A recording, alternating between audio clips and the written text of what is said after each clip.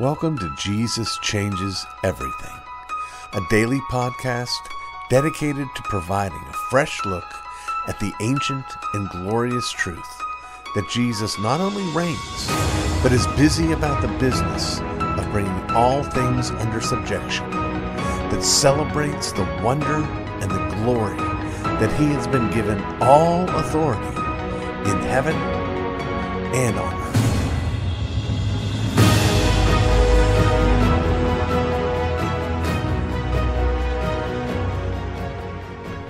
I've told you before, and I'm sure I'll tell you again, that I tend to be a collector. When I find some, well, some book, some actor, some director, some singer that I like, I tend to keep going back to the well. I'm excited that, uh, I don't know, in a month or so, I'll probably be back with you in a curating your book library talking about another Malcolm Gladwell book because I've just got another one the other day. But I'm here today in this curating your book library segment to speak about uh, a book that I recently finished. The book is called Facing the Mountain and the author's name is Daniel James Brown, and I have spoken about him before because I've covered in this segment some time ago, quite a long time ago, his book called The Boys in the Boat. And that particular book is uh, given to us as is his style, and a sort of narrative style of nonfiction. The Boys in the Boat tells the story of the crew team at the University of Washington who made it all the way to the Olympics in 1936 and had a kind of uh, Jesse James like experience there. Did I say Jesse James? Gosh, Jesse Owens like experience. Mercy.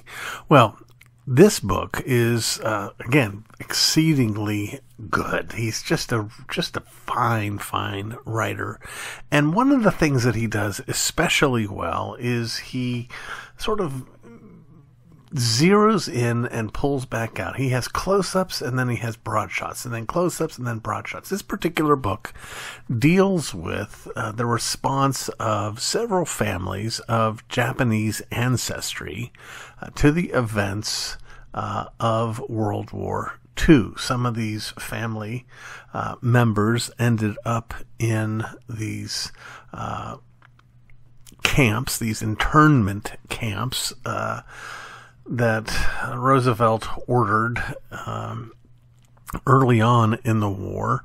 And eventually, a group of these folks ended up being able to uh, serve in the armed services for the uh, United States uh, Army, and so much of the book uh, actually recounts the heroism of this particular uh, company or battalion. I'm not sure the right word for it. Uh, that's made up uh, pretty much exclusively of Americans of Japanese ancestry, and uh, it and as Daniel typically does, he sort of uh, gives us a glimpse into the motivations of the characters in the story. Though they're not characters in the story, this is all very historical.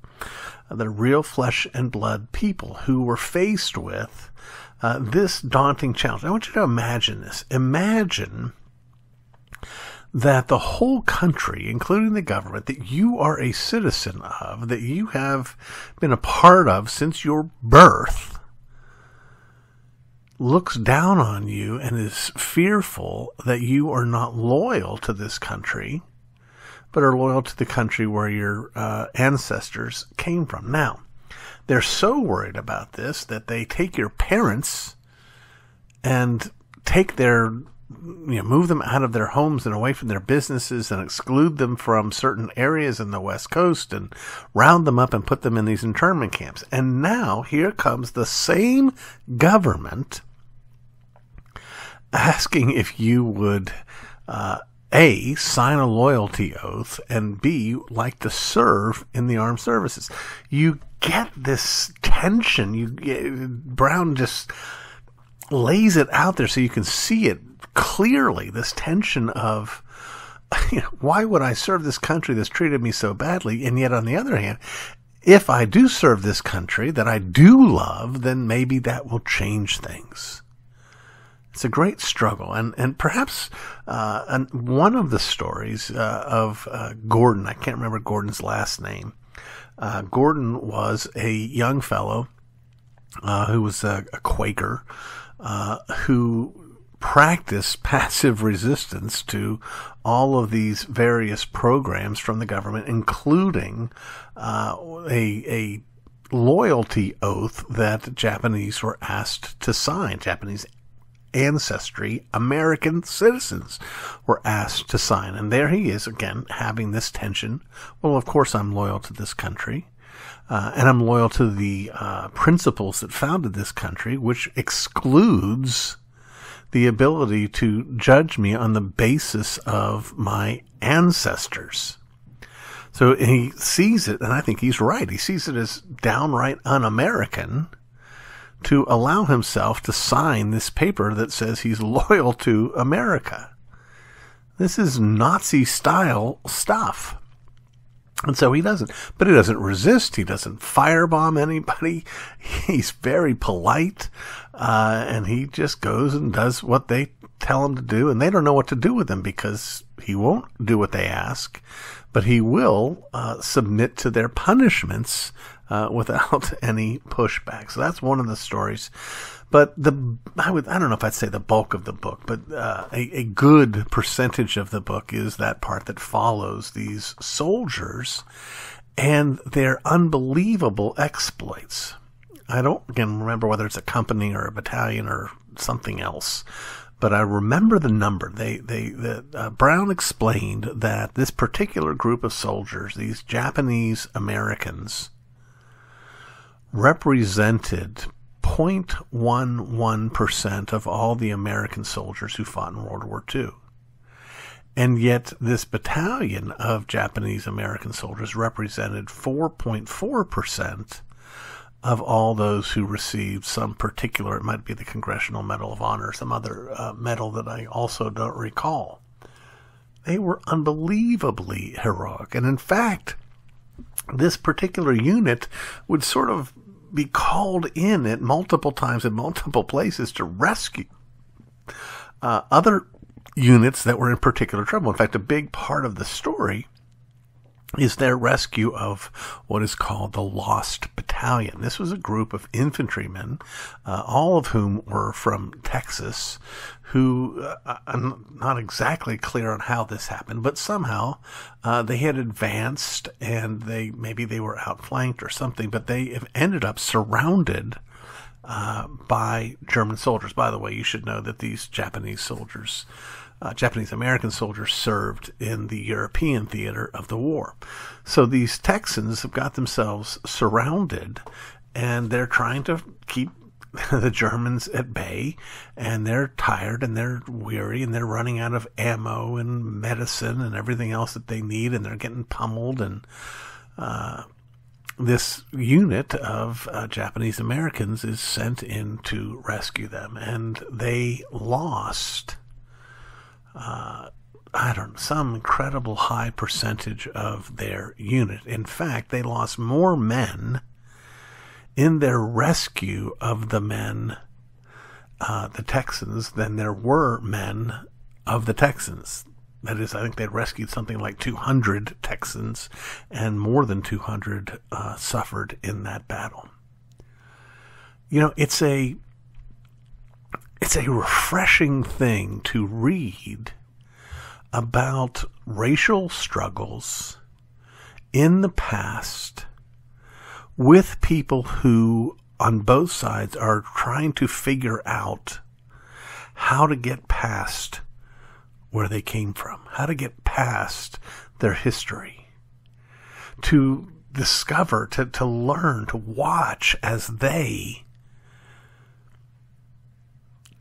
ah, what's the right word for it? As they, well, persevere and eventually win over those who hated them.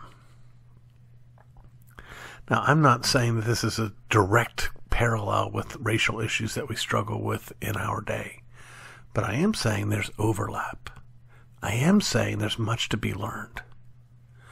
Again, Daniel James Brown is a born storyteller. He captures your attention. He holds your attention. Uh, he actually is taught writing at uh, both San Jose State University and at Stanford University. He now lives outside of Seattle, and I trust and hope uh, he's working on something new, something that I'm looking forward to reading. Now, I'd love to know if you have any experience. There are still a couple of his books that uh, I have not read The Indifferent Stars Above and Under a Flaming Sky. So uh, I've got more to add to my collection.